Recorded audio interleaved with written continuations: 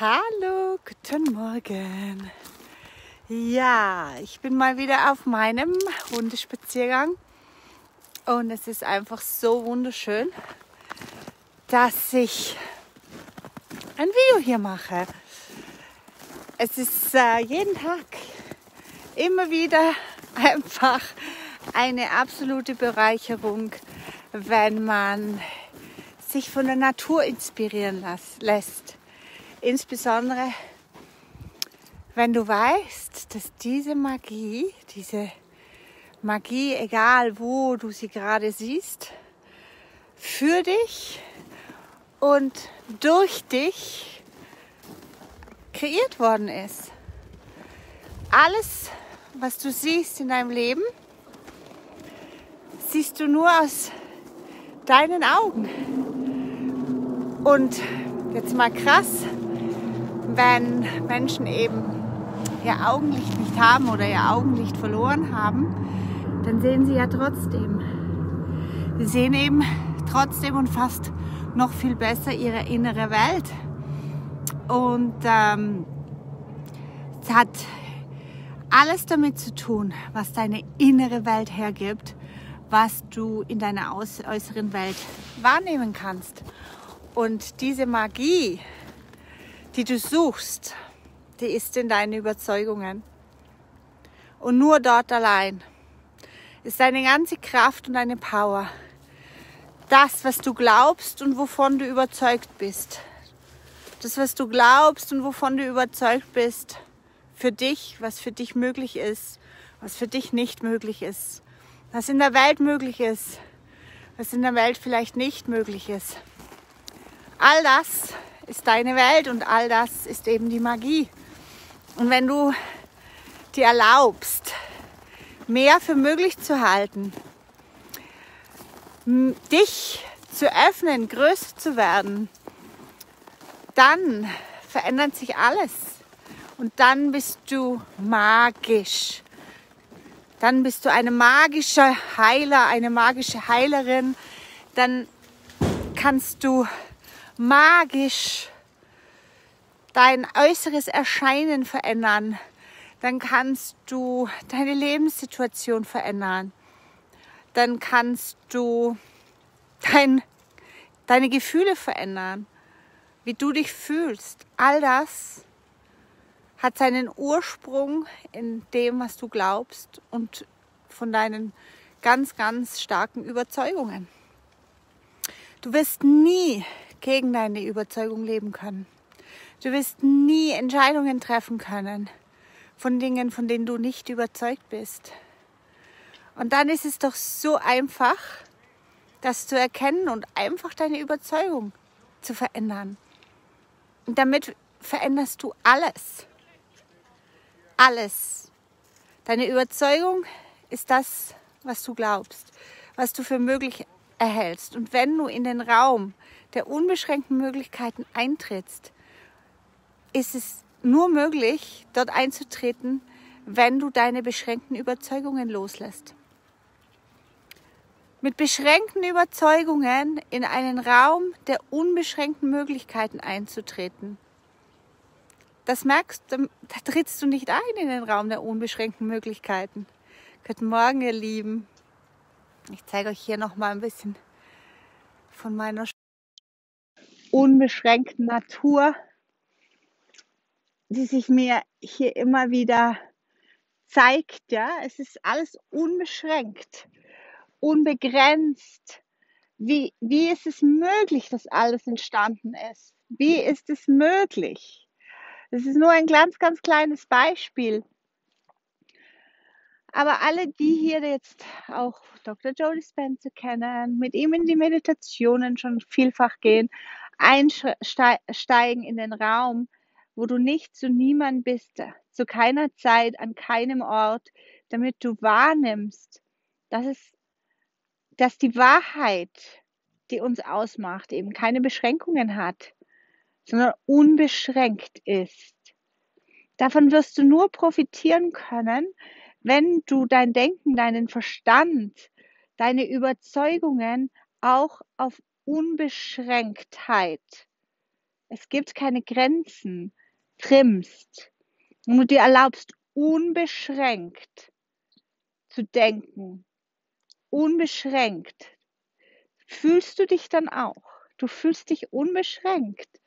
Und wenn du dich unbeschränkt fühlst, fühlst du dich magisch.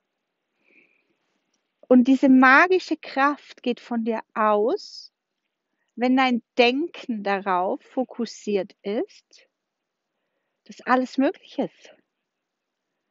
Dass du hier bist, um unbeschränkte Erfahrungen zu machen, unbeschränkte Möglichkeiten für dich ähm, in den Raum zu ziehen. Und jetzt ist der Moment und ich möchte dich einfach daran erinnern, mach eine kleine Übung und schreibe alle Gedanken auf, die dich beschränken und öffne sie. Mache unbeschränkte Gedanken daraus. Das ist nicht möglich, weil. Das ist möglich, weil. Schon hast du geöffnet, schon hast du dich geöffnet. Schon hast du dein Denken geöffnet, schon hat sich deine Welt geöffnet, schon hat sich alles verändert. Natürlich geht es nicht, wenn du das einmal machst und dann nachher denkst, so ein Blödsinn und das mache ich nie wieder, ist doch trotzdem alles beschränkt, ist doch trotzdem für mich nicht möglich. Für mich ist, ist alles anders, weil, weil ich dort aufgewachsen bin, weil ich die Ausbildung habe, weil ich diese Erfahrungen gemacht habe, weil ich diese Situationen erlebt habe. Das sind alles Gründe, denen du erlaubst, dich zu beschränken. Und das ist deine Entscheidung. Das musst du nicht tun. Das musst du nicht tun. Und die Magie, diese Power der Magie, die entsteht genau dort, wenn du deine Gedanken öffnest, wenn du alles zur Seite legst, was dich einschränkt an Geschichten, Erinnerungen und Überzeugungen, dann ist Magie möglich. Aber es ist nur das möglich, jetzt hör gut zu bitte, es ist nur das möglich, was du für wahr hältst. Ein ganz wichtige Quote oder Sprichwort von Neville Goddard. Nur das, was du für wahr und wirklich erachtest, wird sich in deiner Welt, in deinem Leben, in deiner Realität zeigen. Und wie einfach ist es dann einfach, die Dinge für wahr und wirklich zu erachten, die man sich wünscht. Es wäre so einfach. Es wäre so einfach, die Theorie ist so einfach.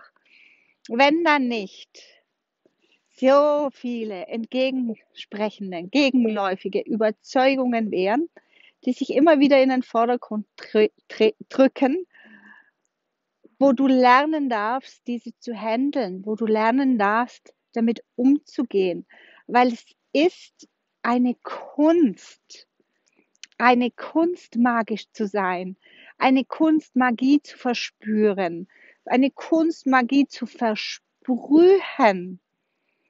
Und wenn du diejenige sein möchtest, die diese Kunst kann, dann musst du entscheiden, dass du an Magie glaubst. Dann musst du entscheiden, dass du daran glaubst, dass du die Welt magisch verändern kannst dass du hier bist mit so viel Magie. Erinnere dich nur daran, wie magisch ein kleines Baby ist, wenn es einfach nur da liegt und lächelt. Die Magie, die dieses Baby ausstrahlt. Das ist die Magie, die in jedem von uns immer noch wohnt, die aber so bedeckt und verschüttet ist. Und wir sind hier, das ist unsere Aufgabe, deswegen haben wir die ganze Scheiße im Außen um zu erkennen, wo unsere eigene Kraft liegt, dass unsere Fähigkeit in unserem Denken, in unserer Vorstellungsgabe ist. Und nachdem wir es erkannt haben, dürfen wir lernen, das einzusetzen, das umzusetzen und daraus zu leben. Weil wir sind alle hier für ein geiles Leben. Alle, alle, alle. Und wir sind alle hier zu kapieren, dass es egal ist, wo wir herkommen, wo wir wir, wo wir reingeboren worden sind, mit was für Anfangsausstattung wir unterwegs sind, dass das eben unerheblich ist. Dass es nur das erheblich ist, was wir für möglich halten, was wir für wahr halten und was für uns wichtig ist, was wir hier erleben wollen. Und das zu entscheiden, diese, diese Macht und Kraft der Entscheidung. Wir sind alle, alle, alle. Keiner hat eine Ausnahme, keiner ist eine Ausnahme. Hier, um das zu erkennen. Um einfach zu erkennen, dass es egal ist, was da draußen passiert, dass es egal ist, was in deinem Leben jemals passiert ist, sondern dass der goldene, gegenwärtige Moment der Moment der Magie ist. Und wie du in diese Magie eintreten kannst. Das darfst du lernen, dazu bist du hier und dazu, wie lange muss man dich noch quälen? Wie lange musst du noch leiden? Wie lange musst du dich noch scheiße fühlen? Dass du mir glaubst und einfach sagst, okay, wenn sie sagt, es ist für alle, dann ist es auch für mich. Wenn ich sage, es ist für alle, natürlich ist es für alle. Wir sind alle gleich. Wir sind schon immer alle gleich gewesen. Nur diese ganzen Vorstellungen, die uns voneinander unterschiedlich scheinbar gemacht haben, sind eben nicht wahr. Sonst würdest du ja nicht hier sein und irgendwo immer noch suchen nach der Wahrheit.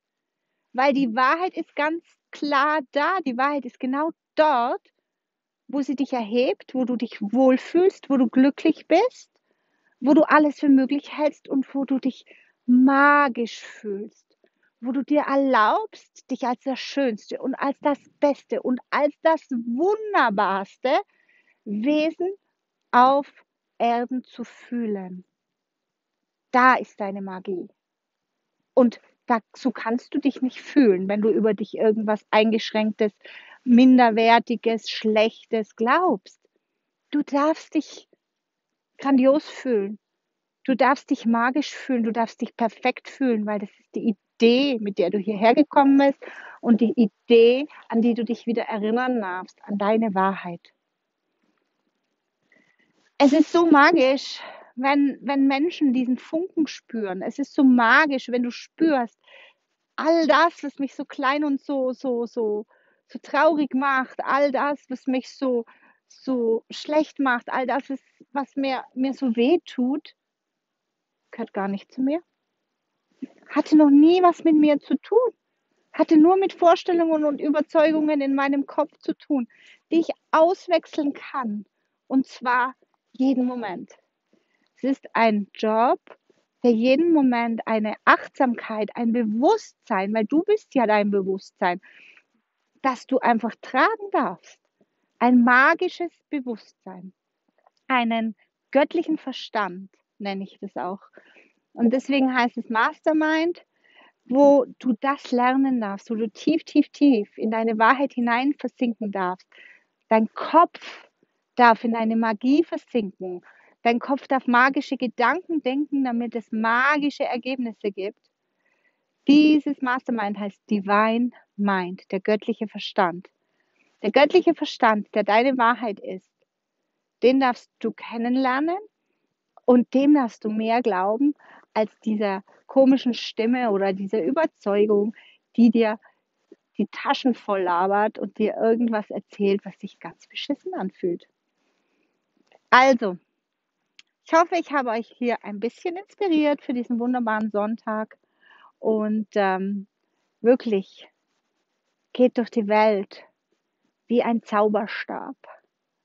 Ihr seid der Zauberstab, der die Welt kreiert. Jeder von uns kreiert seine Welt mit seinem eigenen Zauberstab. Und dieser Zauberstab, der wird gefüttert und gesteuert von deiner Vorstellungskraft und von dem, was du für wahr hältst hältst. Okay, ihr Lieben, seid empowered, seid bekräftigt, schaut auf diesen riesengroßen Berg und wisst, dass ihr ihn versetzen könnt. Mit euren Gedanken. Deine Gedanken versetzen Berge. So ist das.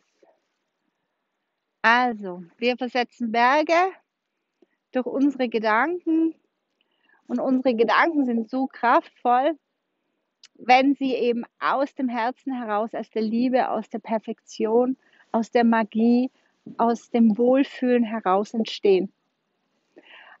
Also ich freue mich auf alle, die sich bei mir melden und wirklich diesen Schritt wagen.